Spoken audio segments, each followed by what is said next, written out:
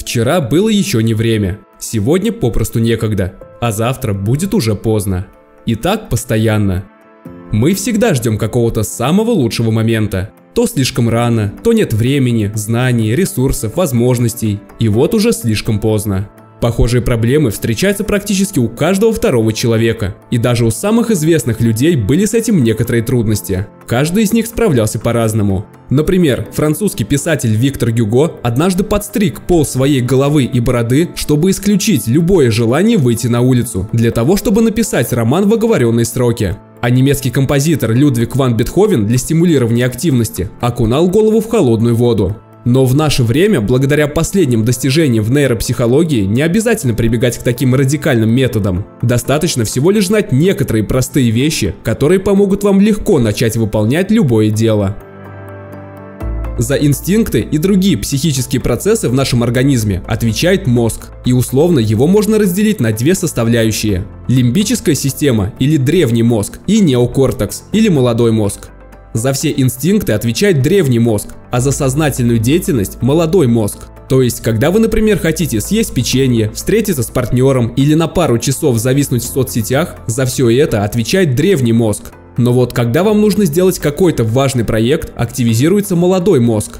Но вот только молодой мозг, в отличие от старого, потребляет очень много энергии, вплоть до 15% энергии всего тела. И при этом он мало заботится о таких вещах, как выживание и размножение, которые, в свою очередь, являются самыми важными функциями для сохранения вида. Поэтому наш организм заинтересован в том, чтобы мы как можно реже думали и чтобы мы не тратили много энергии. Но вот только очень немногие люди могут полноценно контролировать эти две составляющие и при необходимости отодвигать старый мозг на второй план, для того, чтобы полноценно активизировать ту часть мозга, которая отвечает за сознательную деятельность. Большинству из нас для этого требуются некоторые способы, и сейчас мы рассмотрим самые действенные из них.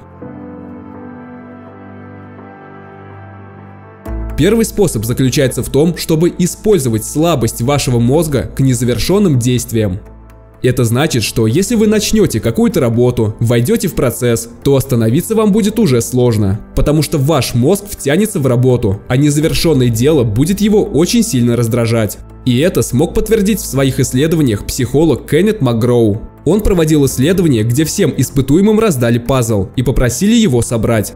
Когда работа была практически завершена, испытуемым предложили закончить ее. Смысла продолжать работу не было, так как пазл был практически собран. Но вот только 90% участников отказались заканчивать работу, пока пазл не будет собран полностью. Похожий эффект можно заметить, например, при прочтении неинтересной книги или при просмотре фильма. Даже если уже нет особого смысла досматривать фильм или дочитывать книгу, бессознательно нам все равно хочется довести это дело до конца.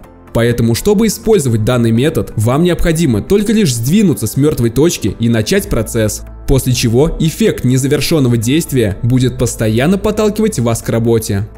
Второй способ заключается в том, чтобы максимально упростить первый шаг.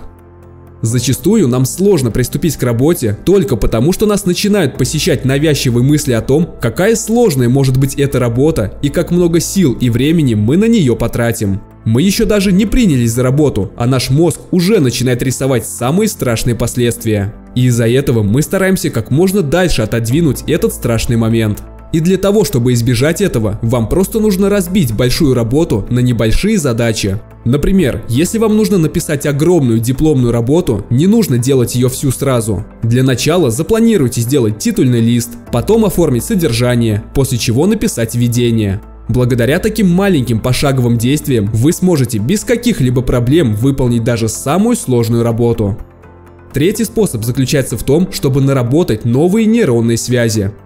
Наш мозг не любит делать что-то новое, потому что, по его мнению, это может быть довольно опасно. Новая деятельность, которой вы хотите начать заниматься, отличается от вашей привычной деятельности меньшим количеством нейронных связей в мозге. И чтобы приобрести эти новые нейронные связи, нужно постоянно практиковаться. И для этого на помощь может прийти визуализация. Потому что вашему мозгу не важно, делаете ли вы это в реальности или просто представляете процесс работы у себя в голове. И в первом, и во втором случае будут построены новые нейронные пути.